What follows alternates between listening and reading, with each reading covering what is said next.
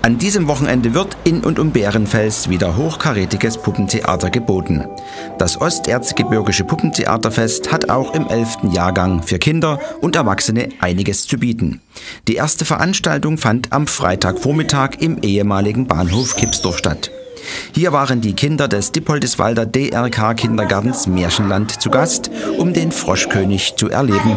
Ein Handpuppenspiel nach dem Märchen der Gebrüder Grimm, gespielt von der Puppenbühne des Deutsch-Sorbischen Volkstheaters Bautzen.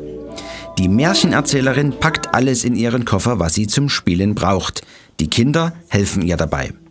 Ich packe meinen Koffer und nehme mit eine Prinzessin, ein Himmelbett, ein Seidenkissen, einen König, einen Frosch, eine goldene Kugel, ein Schloss mit fünf Türmen und eine Kutsche.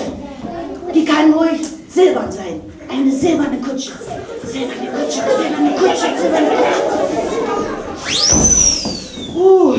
Anstrengend.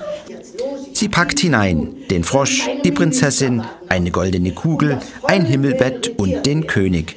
Der König muss regieren, der Prinzessin ist langweilig, sie spielt mit ihrer goldenen Kugel und die fällt in den Brunnen und jetzt kommt der Frosch ins Spiel.